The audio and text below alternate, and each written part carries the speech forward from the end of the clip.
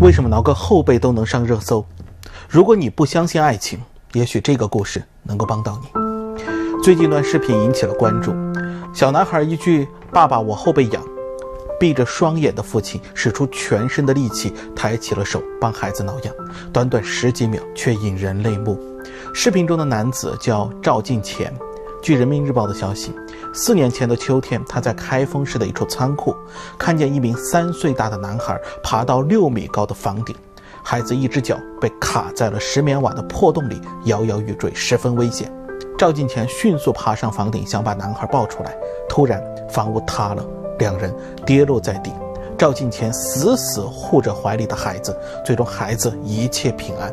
但不幸的是，他自己头部着地。造成了重度开放性颅脑损伤，成了植物人。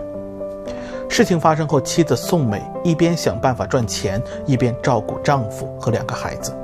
为了补贴家里的经济支出，曾经文艺的女孩宋美拾过荒，摆过地摊，带过绘画班，给人画肖像、彩铅，还在装修工地做保洁。她每天凌晨四点就早起干活，白天除了接送孩子上下学，就是去医院陪丈夫做康复治疗，晚上再去摆地摊做直播。现在赵进前的眼睛能微微睁开了，开始可以用手势与家人互动交流。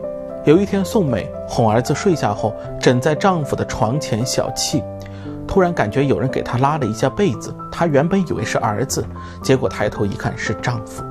只见赵进钱躺在床上，不断调整僵硬的身子，拉住被子，想给妻子盖上。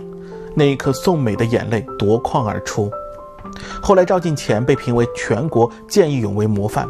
宋美说：“我很感恩，也会继续努力帮助进钱康复。”她说：“我相信他离最终的清醒应该不远了。”谢谢你，赵金钱，你的挺身而出，让我们看到世间的平凡英雄。也谢谢你，宋美。你的不离不弃维持住了这个家，创造了奇迹。